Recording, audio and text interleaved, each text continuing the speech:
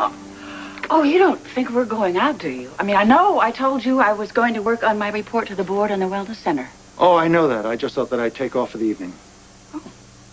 Well, where are you going all dolled up? I'm not dolled up. I always change after a day at the hospital. So, I didn't mean to interrupt. I'll see you later. Okay.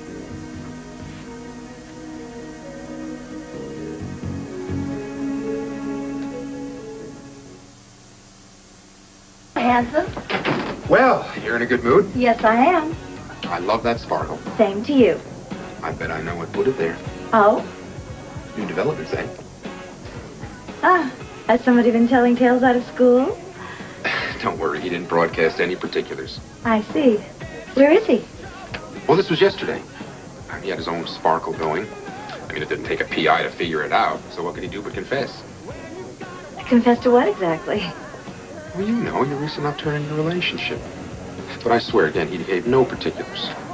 I really don't know what you mean. Okay, have it your way. But I'm happy for you and Tony.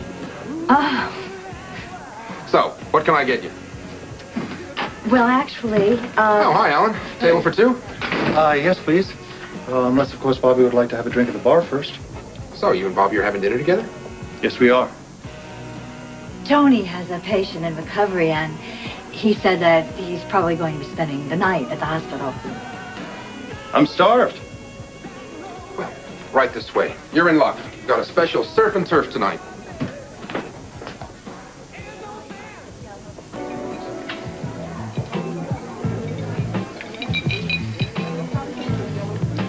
I don't know why Mac had to say something. I mean, two old friends having dinner. I mean, it's not like we haven't done this a million times. Then why do we feel so guilty about it? If somebody like Mac can see it, don't you think it's about time we admitted it to ourselves? Yes? I deliberately didn't tell Monica that I was seeing you tonight. Although I'm sure if I would have told her, she would have sent me off with her blessing.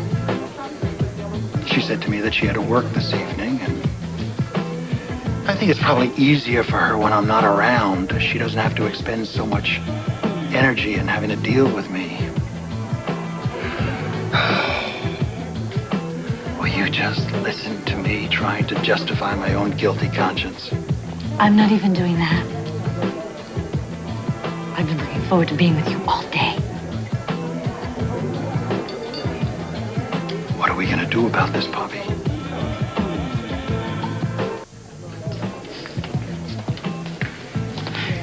We're going to order dinner. You're begging the question. It's not a question that we want to answer, is it? Monica's my best friend. And she's not only your wife, but you happen to love her. God knows you've proven that over the last year. And my marriage is, is finally starting to get back on its shaky feet. Tony is finally beginning to trust me again. Could you help me out a little here? I'm, I'm trying not to be self-destructive, even though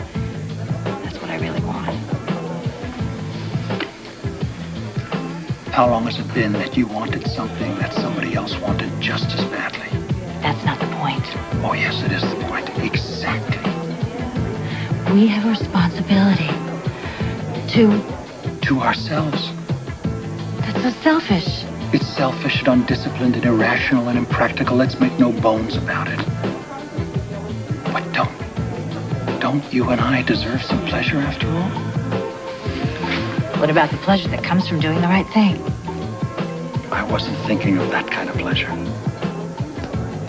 What about the pleasure that we've always gotten from each other's company as loving friends? We are that. Yes. And we don't want to risk a very special relationship, do we? No. No. So, So, you're right. Anything else would be out of the question. So let's order.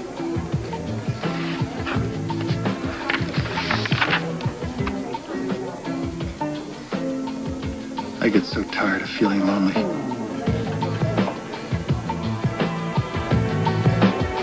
So, uh, what time did you tell Betty you'd be home? No sitter tonight. Lucas got invited to a sleepover at a friend's house. Well, great. So we have time. How about a brandy? I um, have to be up early in the morning for surgery. And I have a patient at 8.30. We probably should just both go home to bed. You say that Tony was with a patient tonight? Yeah. He'll probably spend the night in the residence lounge. I'll drive you home. I have my car. Well, I'll follow you just to make sure you get home safely. Alan.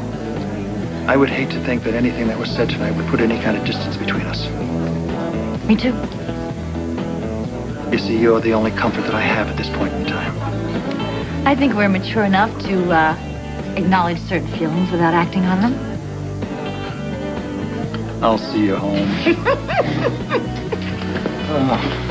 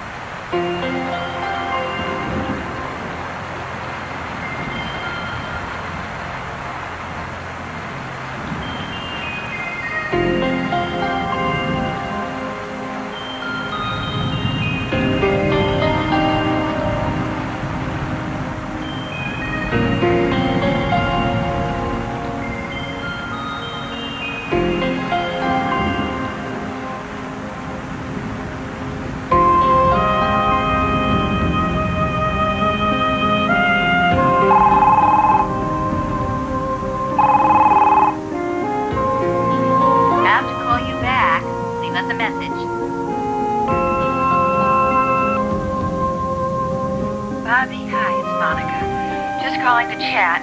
Getting tied in knots about this reconstructive surgery.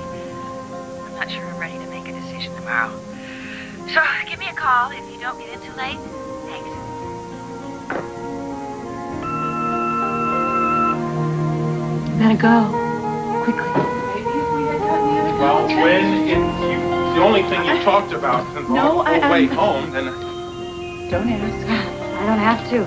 Mommy doesn't like camping. Ah, that's right. Blame it on the woman. Fine. well, it's not my fault that the wind blew the tent down. I'm not saying it was anybody's fault. All I'm saying is let me get upstairs to my own dry, soft bed. Well, I better get out of here before I have to testify. Wise move. Thanks for dinner. I'll see you. Absolutely. Good night, all.